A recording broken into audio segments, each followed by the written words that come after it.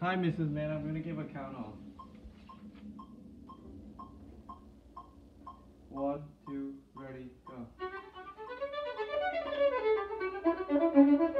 go.